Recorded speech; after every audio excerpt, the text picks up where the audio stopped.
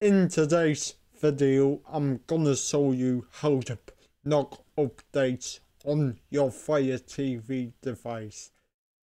This can be useful if you're worried about Amazon knocking third-party apps or you will launch it.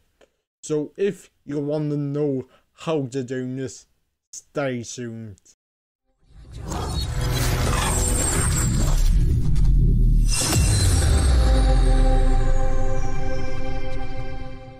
There are a few reasons why I don't recommend you doing this.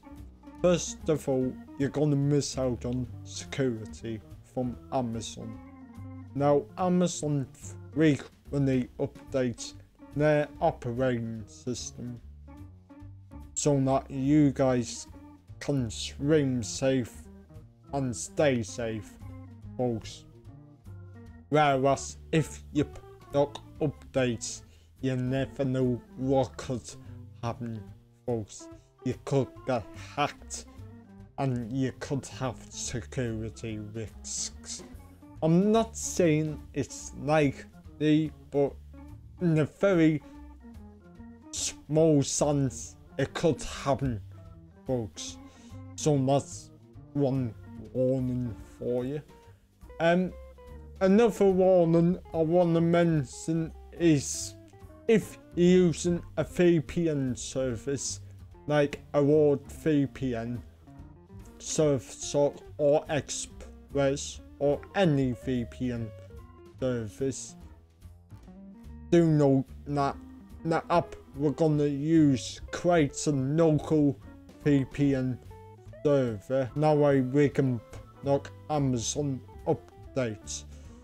So because of that we can't have two VPNs running at the same time and you would rather use your VPN.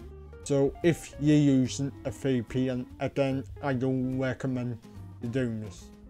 And finally guys, if you like new features, you're not gonna get any new features by knocking updates. So if you don't care about those three and you just wanna not updates anyway, let's go. Right on our Fire TV device, it needs to be a device that's above Fire OS 7. Um, to check what version you want, just going on to your settings, go down to My Fire TV, and then in here, tap about, and then if the software is below Fire OS 7, you can't do this, I'm afraid. But if you're running Fire OS 7, you're all good to go. The next thing we want to do is come back out and click on developer options.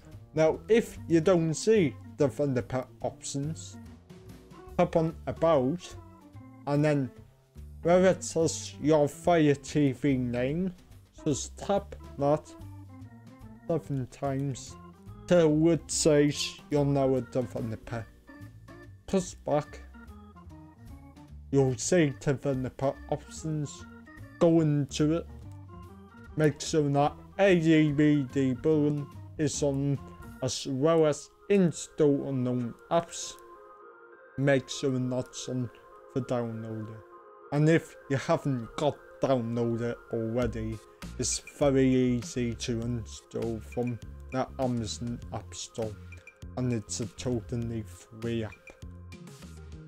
Then we're gonna open up the downloader and then in the box where it says enter a URL or search term, gonna click into that and we're gonna type in 82646. A very simple code folks. 82646. Then we're gonna press go and that will take you to my APK page. Let's give that a second. Here we are. Scroll down to the section called update login. Here we are. And these are the two apps we're gonna install. So let NetGuard highlighted, click on it. Now we'll download your NetGuard. Gonna tap on install. Done. And then we're gonna name this APK file. They use this folks. This does take up space on your device. So tap to delete and then to confirm press delete again. And then we're gonna install the TDUK update wiper. So click on it and that will start the download. And we're gonna install the TDUK update wiper. Gonna click on done. And then we're gonna delete the APK file once again, taking up space on our device. Then we're gonna click home. Go into your apps. And then we're gonna open up the TDUK update wiper. And then here, you want to click on clear OTA database. So not the second option because what I find is if you click on this option it downloads another update to your device unnoticed. Really use this guys. So we're gonna click on clear OTA database. That's now all done. So what that does is gets rid of any other updates. So once we're done that guys, we're gonna go into NetGuard. So once in that NetGuard, we're gonna create the privacy policy. And then here we are folks. What we wanna do now is go up to the three dots click on it and then we're gonna go down to settings click on it we're gonna go down to advanced options. Again click on it we're gonna tick manage system apps. Click on it to turn it on. Push back back again. You'll see the system apps. Now word of warning guys. Make sure you do select the right system ups. Otherwise, if you select the one ones, you could end up doing something wrong with your device. So pay attention. Right, so the two processes we're gonna turn off are Adept Force and system update. So the way we do that is if you're seeing these Wi-Fi and system icons, we're gonna turn these off. The way to do that is highlight them, click on it, and that turns it off. Again, we're gonna do the same in the Wi-Fi signal, so turn both of them off. And then we're gonna scroll right the way down to system update. System update. Again, we're gonna click on the signal icon so that turns it off.